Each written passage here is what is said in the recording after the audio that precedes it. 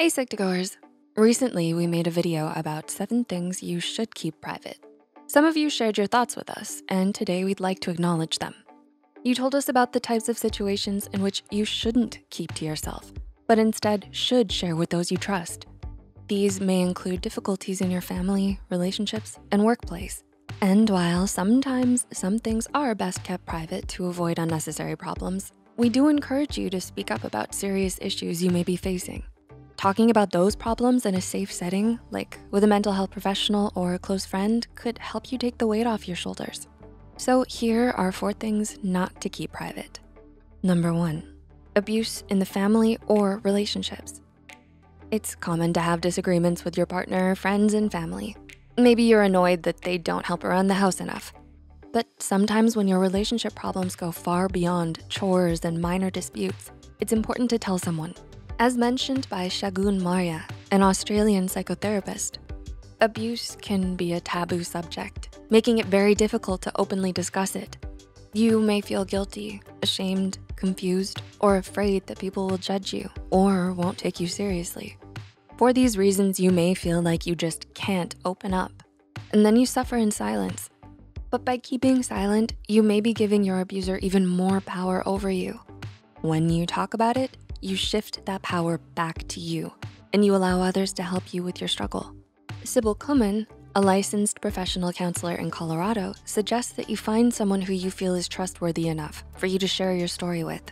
And if you don't feel like people in your life could help you with your situation, you should definitely seek help from professionals whose job it is to help victims of abuse stand back on their feet.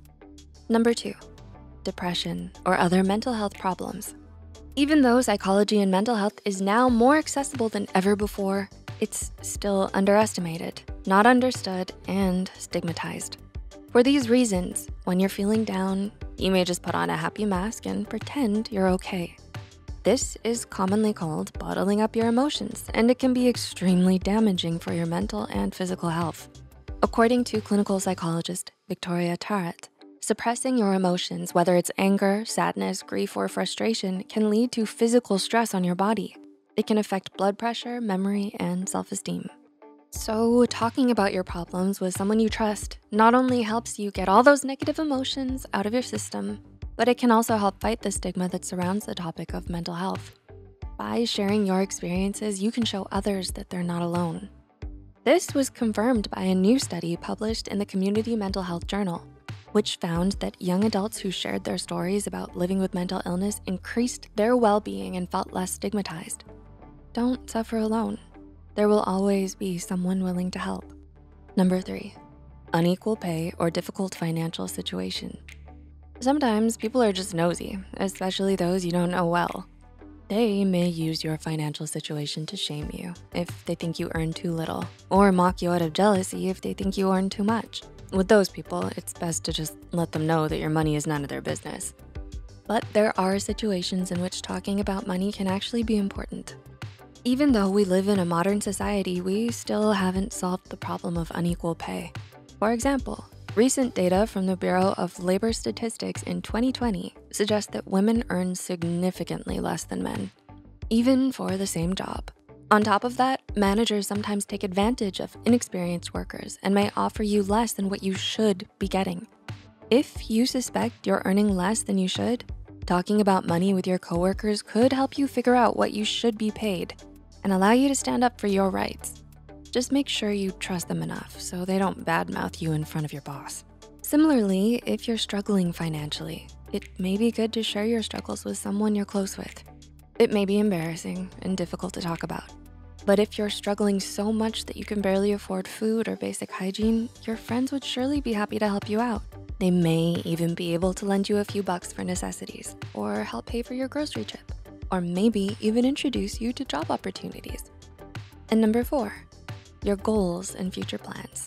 Some studies suggest that if you share your goals and dreams with others, you might be less likely to chase them might sometimes be true for instances where you're not really 100% sure if that's what you want to pursue. But when it comes to something you're really passionate about, sharing those goals with others could ensure you get the help, connection, and support you need to get on the path to success. But when sharing those dreams, pay attention to who you're telling your plans to. A recent 2020 study published in the Journal of Applied Psychology states that you can have greater goal commitment and performance if you tell your goal to someone you believe has higher status than you, or if you truly value that person's opinion. Howard Klein, lead author of that study and professor of management and human resources at The Ohio State University explains, you wanna be dedicated and unwilling to give up on your goal, which is more likely when you share that goal with someone you look up to. When talking about your goals, make sure you share them with someone you respect. In that way, you'll make sure it won't be just all talk and no action. Do you agree that these things shouldn't be kept private, but shared with someone you like and trust? What are some other things that are best shared with someone? Remember to like, subscribe, and share this video with those who might benefit from it. And don't forget to hit the notification bell icon to get notified whenever Psych2Go posts a new video. The references and studies used in this video are added in the description below. Thanks so much for watching and see you in the next one.